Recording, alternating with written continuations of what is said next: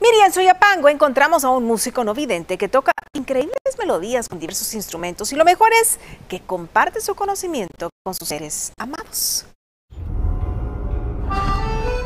Desde sus siete años de edad, para Nicolás Alvarado, los instrumentos de cuerda han sido para su vida. Su abuelo y su tío fueron los maestros de música.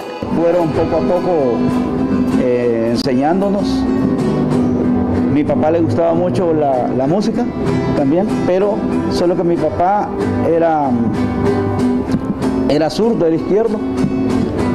Y entonces por esa razón eh, quizás no se desarrolló en la música directamente, pero sí le gustaba mucho y nos apoyó bastante.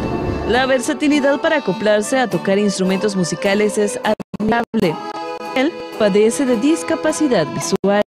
Estudié la música, eh, poco a poco fui creciendo en, los conocimientos de los instrumentos.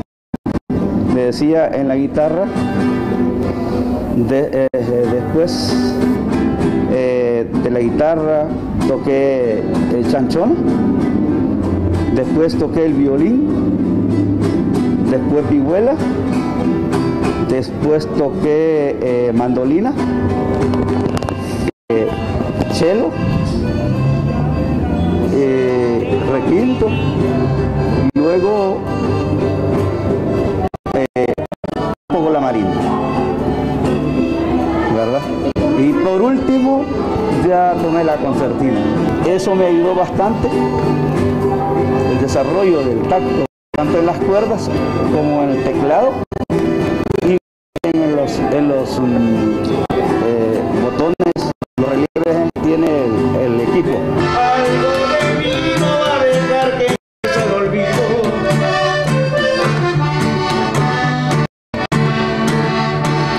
William Minero fue conocido al presentarse en países como España, Italia, Alemania, Rusia y Estados Unidos, con una trayectoria de 50 años y con las capacitaciones correspondientes, este músico salvadoreño en la actualidad se dedica a transmitir su conocimiento a personas videntes y con discapacidad visual. A mí me gusta la música porque dicen que desde chiquito ya lo llevo yo. Yo, yo cuando mi papi tocaba ahí en la casa, ay, venía a darme vuelta ahí en la casa, por eso. Estoy muy, muy orgulloso de él y quiero ser igual como él. Mi papi me, me dijo, la música es muy romántica y la música es muy valiosa para uno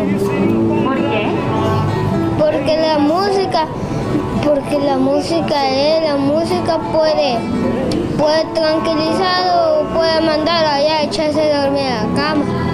La música nació en su padre, se transmitió a sus hijos, ahora somos una familia